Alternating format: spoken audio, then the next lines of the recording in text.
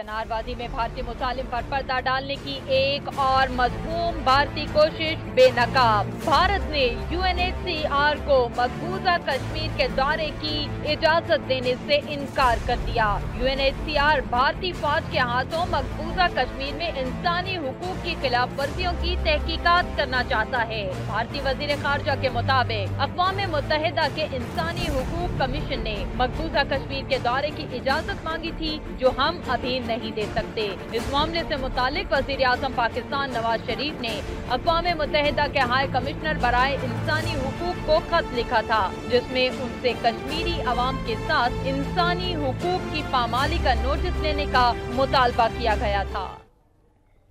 ناظرین بلوچستان میں بھارتی مداخلت کا معاملہ اٹھانے پر مودی سرکار بدحواس ہو گئی ہے۔ مقبوضہ کشمیر کے معاملے پر آل پارٹیز کانفرنس میں اپنے فوجیوں کو کلین چٹ دیتے ہوئے وزیر اعظم نریندر مودی نے پاکستان پر الزام تراشی شروع کر دی ہے۔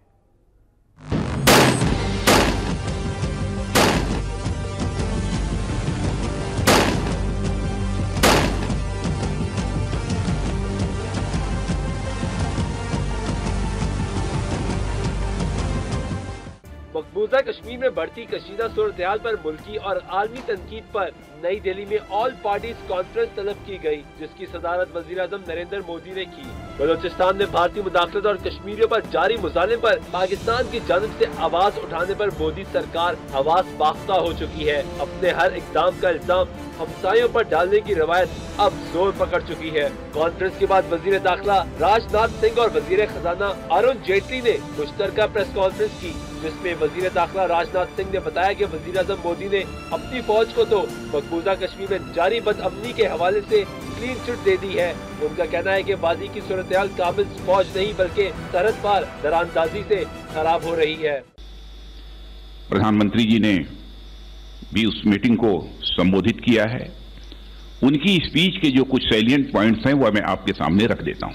کشمیر میں اشانت کی جڑ کراس بارڈر ٹیررزم ہے جس کو مکھتہ پڑوسی دیش سے پروتساہن ملتا ہے۔ دراندازی کے خلاف بات کرنے والے وزیر اعظم مودی خود دوسرے ملکوں کے معاملات میں دراندازی کر رہے ہیں۔ راج ناتھ سنگھ کے بقول مودی کہتے ہیں کہ اب وقت آ گیا ہے پاکستان بلوچستان بلتستان اور آزاد کشمیر کے عوام پر مظالم کا جواب دے۔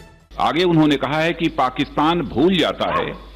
کہ وہ اپنے دیش کے ناگرکوں پر لڑاکو بیمان سے بم برساتا ہے۔ اب سمے آ گیا ہے کہ پاکستان کو وشو کے سامنے